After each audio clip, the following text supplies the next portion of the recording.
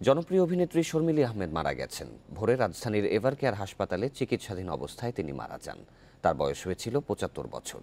Television এবং চলচ্চিত্র অভিনেত্রী শর্মিলা আহমেদ উনিশশো বাষট্টি সালে রেডিওতে এবং উনিশশো চৌষট্টি সালে চলচ্চিত্রে তার ক্যারিয়ার শুরু করেন। তিনি বাংলাদেশ টেলিভিশনের প্রথম ধারাবাহিক নাটক দম্পতিতে কাজ করেছেন। ষাটের দশকে নায়িকা হিসেবে তিনি পরিচিতি পান সুভাষ দত্তের আলিঙ্গন, আয়না, অবশিষ্ট আবির্ভাব ছবিতে। কিছু উর্দু ছবিতেও অভিনয় করেছেন তিনি। উনিশশো ছিয়াত্তর সালে মোহাম্মদ মহসিন পরিচালিত আগুন ছবিতে প্রথমবারের মতো মায়ের ভূমিকা পালন করেছিলেন তিনি।